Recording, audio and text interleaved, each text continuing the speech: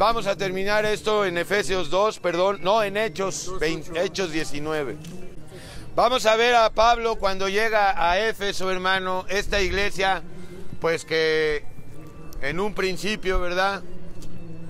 Desde el principio ya habían parte de los creyentes de Éfeso se habían apartado del primer amor, hermano, empezando a consentir con las obras de los Nicolaitas. Si estás en una iglesia donde hay jerarquías, huye de ahí porque ahí no está Dios, hermano. Aquí hay funciones, hermano. Aquí uno, pero no hay jerarquías.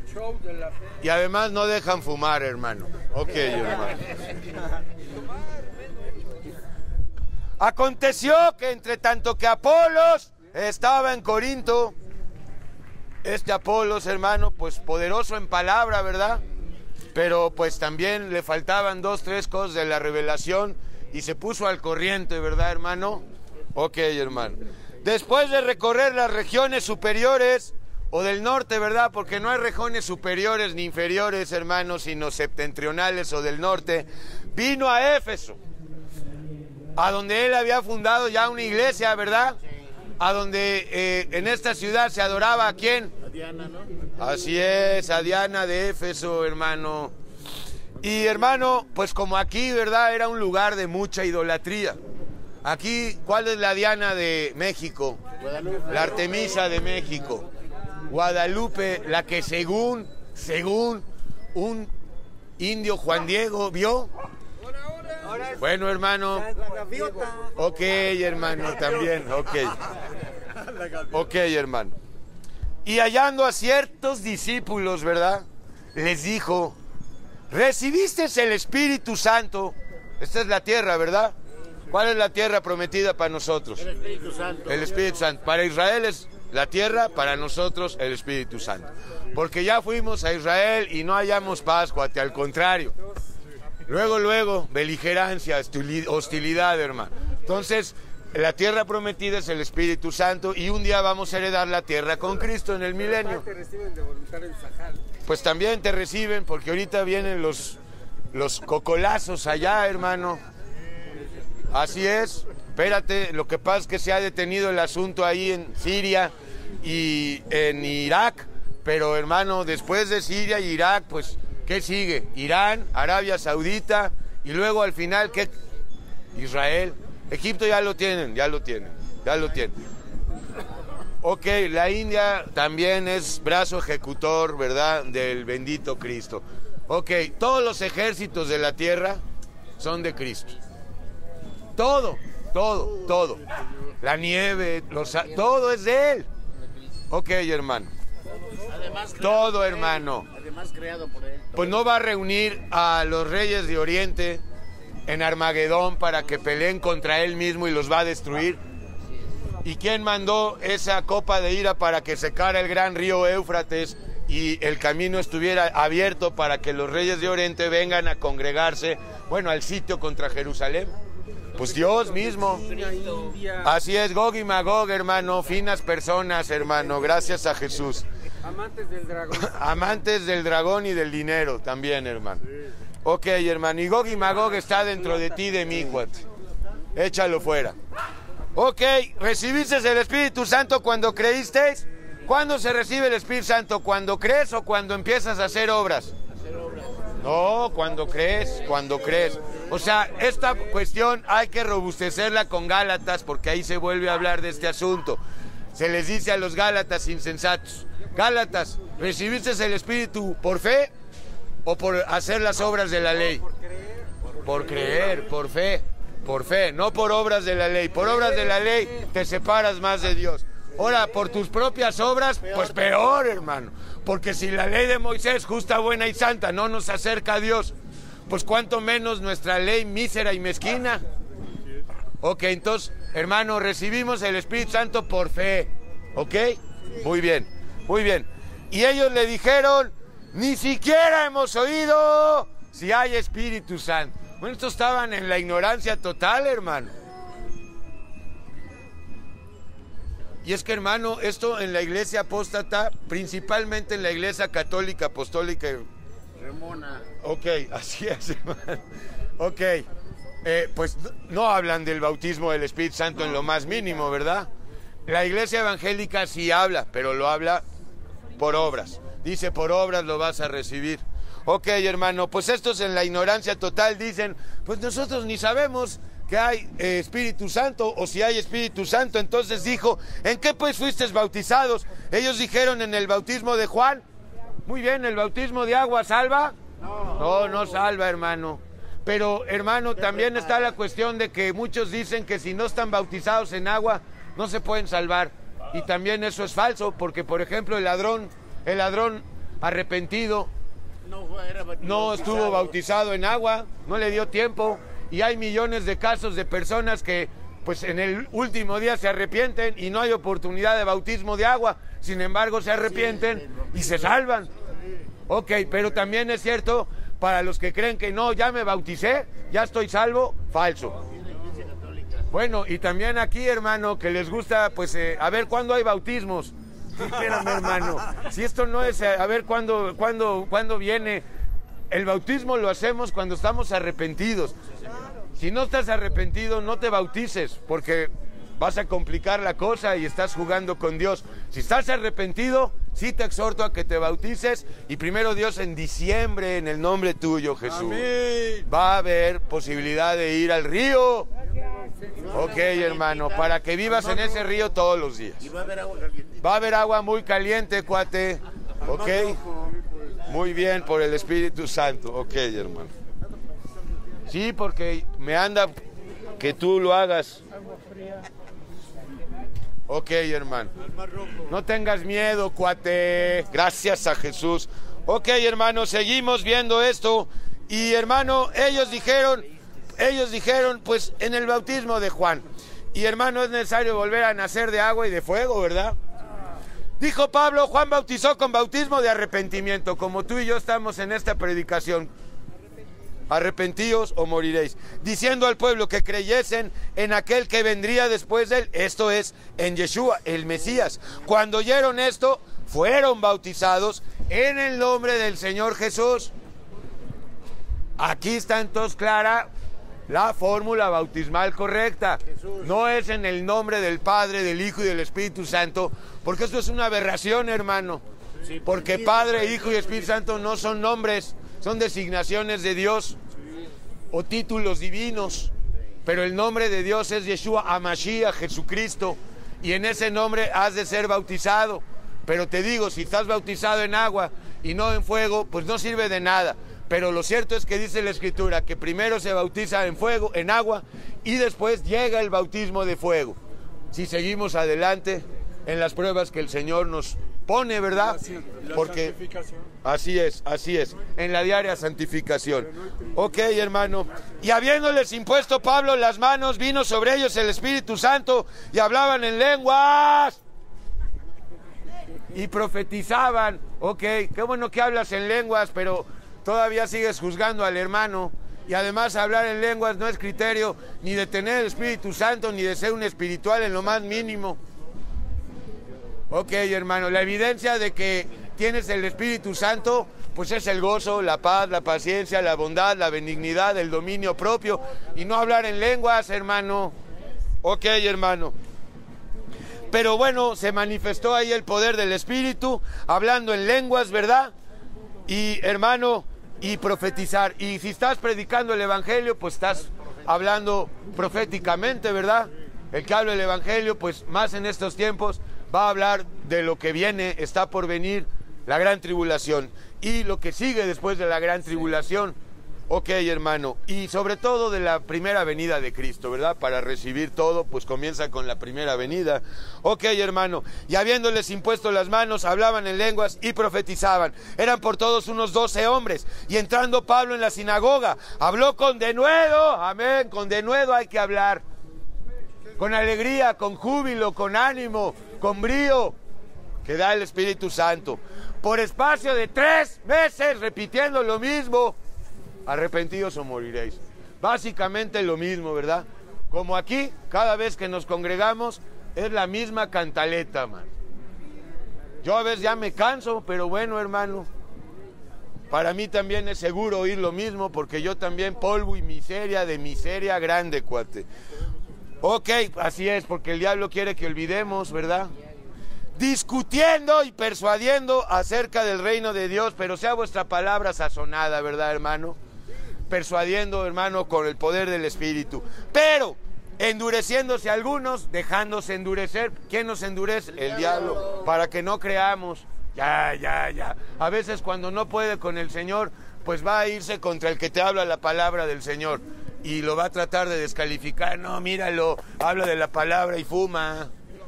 Pues, óyeme, eso no, ese no es de Dios. Y míralo cómo se viste, no trae saco ni traje, ni corbata, todo mugroso ahí con los zapatos sucios. No se rasura, ok. Se le cae el diente, ok, hermano. No trae solideo. Ok, hermano. Y endureciéndose algunos y no creyendo, maldiciendo el camino, que es lo que quiere el diablo, ¿verdad? El camino es Cristo, maldiciendo el camino delante de la multitud. Se apartó Pablo de ellos, ¿por qué? Pues hermano, no hay comunión entre la luz y las tinieblas, ¿verdad? Y se sepa- y separó a los discípulos discutiendo cada día en la escuela de uno llamado tirano. Bueno, aprovechando el nombre de tirano, hacemos mención que hay un tirano dentro de nosotros, ¿verdad? Así es, hermano. Alguien que quiere dominar, someter a los demás y si fuera posible al mundo entero, hermano. Así es, hermano. Así continuó por espacio de dos años, pobre Pablo. De manera que todos los que habitaban en Asia, judíos y griegos, oyeron la palabra del Señor Jesús, porque vieron también el testimonio del Señor Jesús en Pablo. Por eso, hermanos, si no ven el testimonio de Cristo en ti, aunque les hables la Biblia tres años seguidos, no van a creer, no ven el testimonio en ti.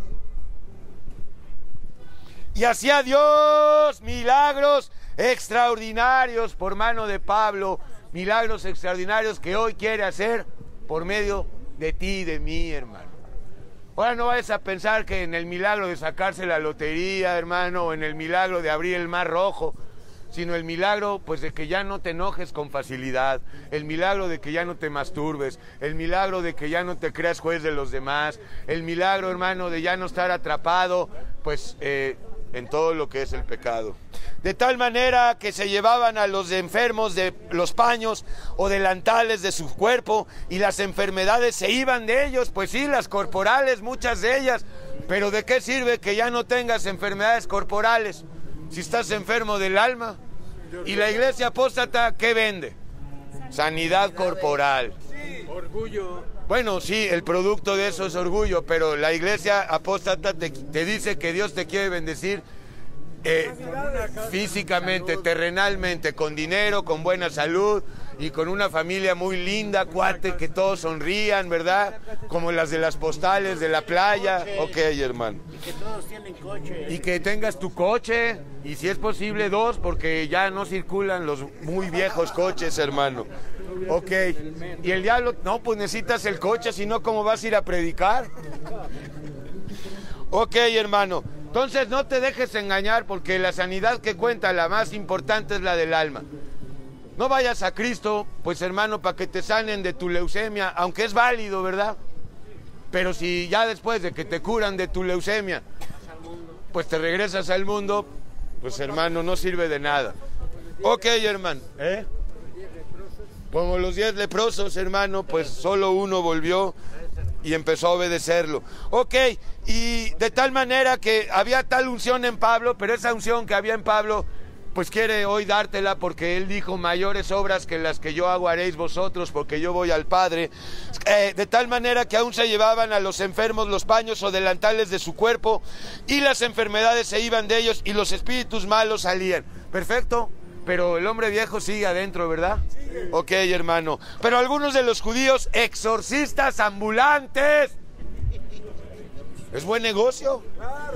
Super negocio, en los pueblos todavía se practica. Claro, hermano.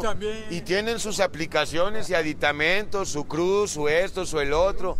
Y hermano, a ver, vengo a exorcizar al niño. Bueno, nosotros estamos echando fuera demonios todos los días con la mente de Cristo, ¿verdad? Nuestros propios demonios. Ok, hermano. Y estos judíos, exorcistas, profetas ambulantes, intentaron invocar el nombre del Señor Jesús sobre los que tenían espíritus malos, pero estos sí cobraban, hermano, y se daban la gloria, diciendo, imagi- observa la locura, os conjuro por Jesús, el que predica Pablo. Pues hermano, ¿cuándo así, hermano, van a hacer los demonios caso?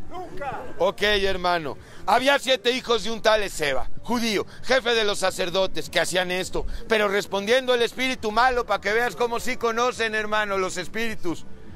Dijo, a Jesús conozco y sé quién es Pablo. Bueno, hasta saben quiénes somos nosotros, porque saben quién está en nosotros, Yeshua. Pero vosotros, ¿quiénes sois? Y el hombre en quien estaba el espíritu malo, saltando sobre ellos y dominándolos, pudo más que ellos. ¿Ves, hermano? Los demonios pueden mucho más que nosotros. No importa que tengas eh, 10 cursos de exorcismo en, en el Vaticano, hermano, o que sepas, hermano, los 72 nombres de Adonai, hermano, o que te sepas la cábala, no importa, sin el Espíritu Santo no hay poder sobre estos demonios. Y saltando sobre ellos, dominar, pudo más que ellos, de tal manera que huyeron de aquella casa desnudos y heridos, estos exorcistas ambulantes. Y esto fue notorio a todos los que habitaban en Éfeso, así judíos como griegos, y tuvieron temor todos ellos, temor a Dios, el principio de la sabiduría, temor a Dios, y era magnificado el nombre del Señor Jesucristo. Y quiere este nombre, hermano, ser magnificado. Él quiere magnificarse en ti, en ti, en este mundo. Y muchos de los que habían creído venían confesando, confesando, no dando diezmos, confesando que... No, hermano, el pecado, sus pecados, y ya luego la palabra, y dando cuenta de sus hechos.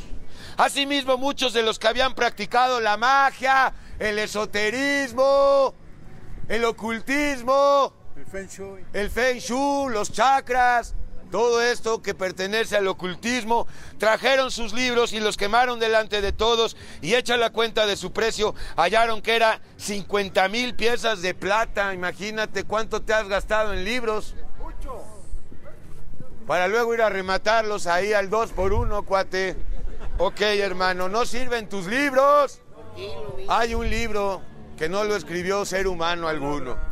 Ok, así crecía y prevalecía poderosamente la palabra del Señor. Está prevaleciendo poderosamente la palabra del Señor, la luz sobre las tinieblas que hay dentro de nosotros. Sí, pasadas estas cosas, Pablo se propuso en espíritu ir a Jerusalén después de recorrer Macedonia y Acaya, diciendo, después que haya estado allí, me será necesario ver también a Roma, porque en todas partes había fundado iglesias.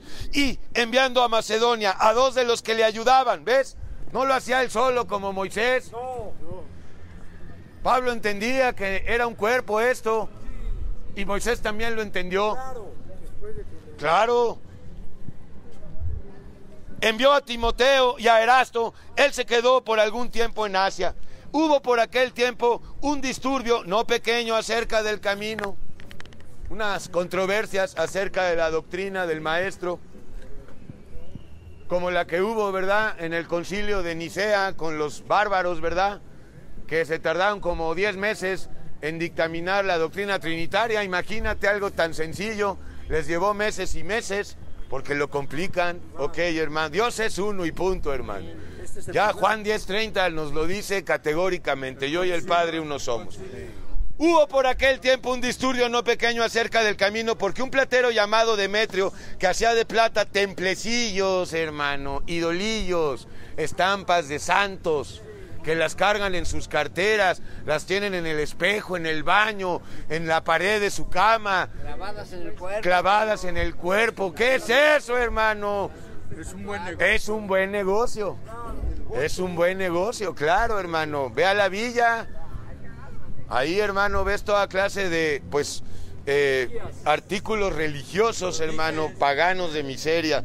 Ok, pues este Demetrio, hermano, hacía templecillos a la, al este ídolo de miseria, Diana, da, eh, daba no poca ganancia a los artífices, a los cuales, reunidos con los obreros del mismo oficio, o sea, con todo el gremio, ¿no? El sindicato, hermano, de hacedores de ídolos, así es. Así es, hermano. La Cámara Nacional, ¿verdad? De ídolos, hermano, y de fabricantes de ídolos. ok, hermano. Les dijo, varones, ¿sabéis que de este oficio obtenemos nuestra riqueza?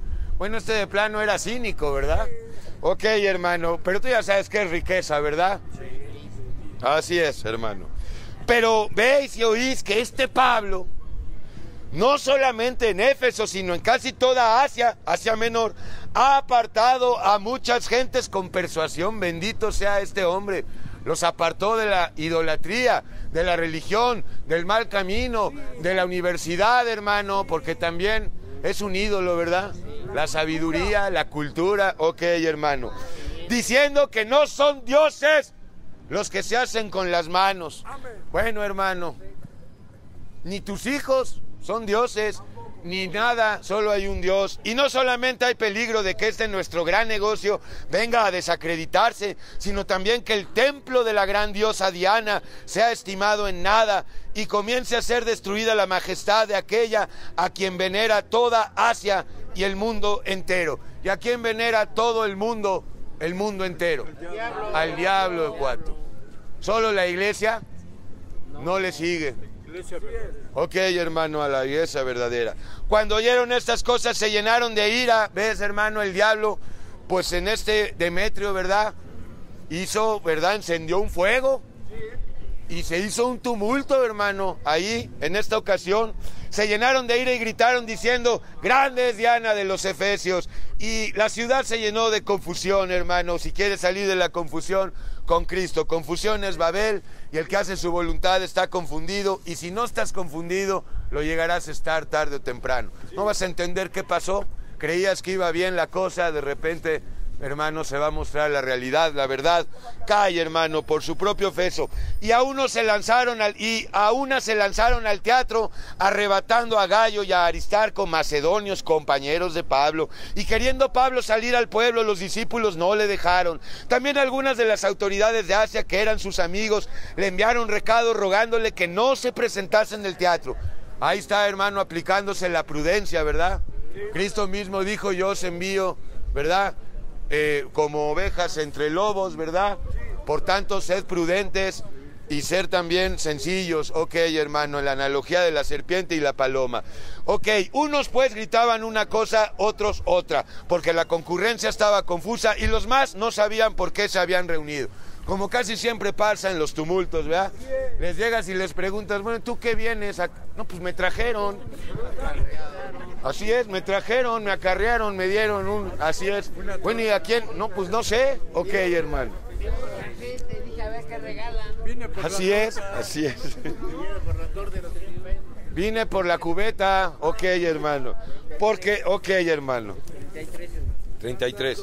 Ok, hermano, la playera. Y sacaron de entre, eh, y sacaron de entre la multitud a Alejandro, empujándole los judíos. Entonces Alejandro, eh, pedido silencio con la mano, quería hablar en su defensa ante el pueblo. Pero cuando le conocieron que era judío, todos a una vez gritaron casi por dos horas, grande es Diana de los Efesios. ¿Ve qué situación, hermano?